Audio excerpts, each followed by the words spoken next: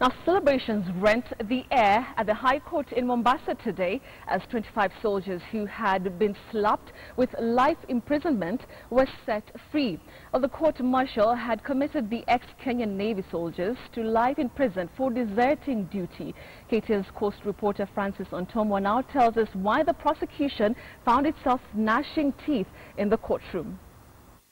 The upshot is that all the appellants in the criminal appeals now before these courts are set at liberty forthwith unless otherwise lawfully held.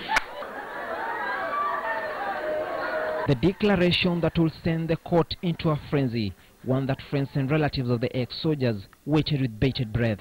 To some, it became a moment of meditation for their kinsmen who had languished behind bars at the Shimo La Tewa prison for more than 18 months. My Lord, this court has found that the offense of desertion while on active service was not proved beyond reasonable doubt. Anxiety and tension was clear among those who followed the proceedings as lawyers from both the defense and prosecution rolled their sleeves in the face-off. Yes, my lord. We just want to lay a basis for the state because we need to demonstrate we have an arguable appeal. So, well, even the question of security, these 25 people were in this court are not in any way compromising or negating for the security of the state at all. But just how did the men of the military find themselves locked up behind bars? The story goes back to the year 2007 and 2008 when they allegedly deserted duty to work with U.S. security firms in Iraq, Afghanistan and Kuwait. At the time the country was in full-blown war in Somalia and upon their return in 2013, their seniors allegedly set them up before a military court. They were slapped with life imprisonment, something that they challenged in civilian courts. We have gone through a process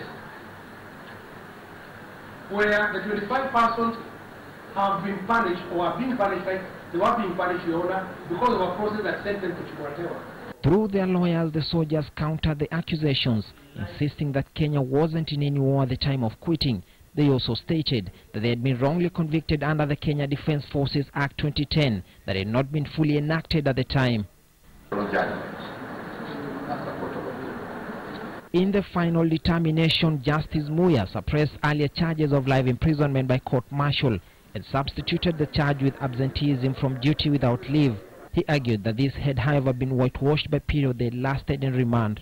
Honorable Justice Muya, uh, having listened carefully to all the arguments, delivered uh, what we consider to be a proper judgment in the circumstances of the case. I thank God for what has happened today.